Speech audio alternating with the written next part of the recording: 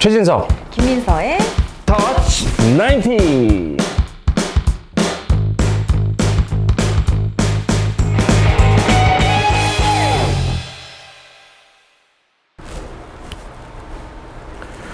오늘은 우드를 칠 겁니다.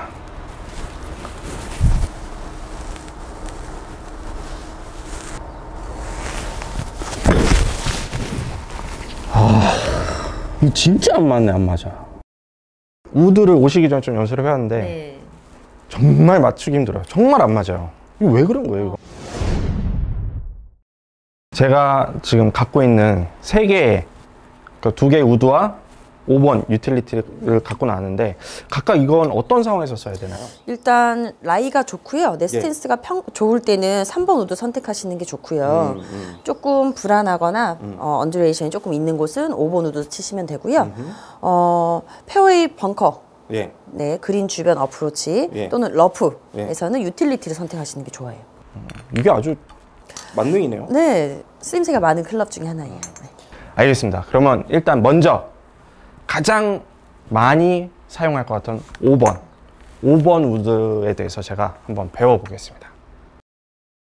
이게 헤드가 페이스가 좀 작잖아요. 네. 공이 여기에 어디를 맞는 게 가장 이상적인 거예요? 페이스 정 가운데 맞아야죠. 정 가운데? 네. 근데 정 가운데 맞으려면 예. 이 sole 부분이 바닥을 스쳐야지만 이렇게 정 가운데를 맞을 수가 있어요. 공을 어디에 놔야지 가장 어, 이상적이에요? 어 드레스 하셔서 예. 7번 아이언하고 드라이버 사이.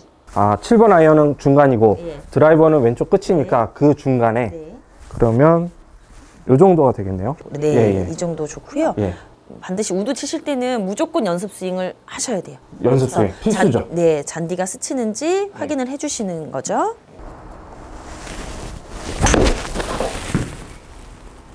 어. 일단 공이 떴고 그 당겨 치는 것보다 헤드를 좀 먼저 치려고 했더니 이전보다 슬라이스가 상당히 덜 났습니다.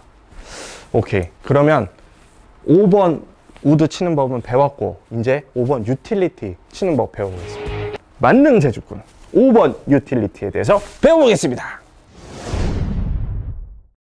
이거는 러프나 트러블샷 이런 거 할 때 굉장히 유용하다고 하셨죠? 일단 헤드가 작아서 잔디에 저항이 없고요. 예. 클럽의 길이가 짧기 때문에 내가 음. 컨트롤하기가 쉬운 클럽이에요. 음, 그래서 재주꾼이라 하는구만.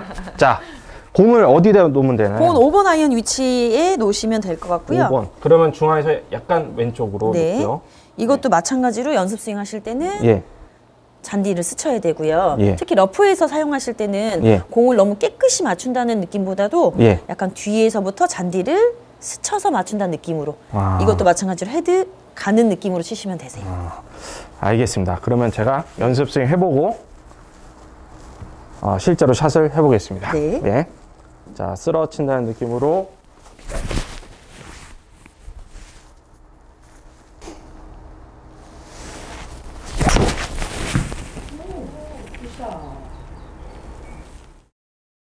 프로님이 말씀해 주신 대로 잔디를 쓰러치는 느낌으로 그리고 헤드를 던지듯이 쳤더니 슬라이스도 안 나고 거리도 제법 160m 이상 났습니다.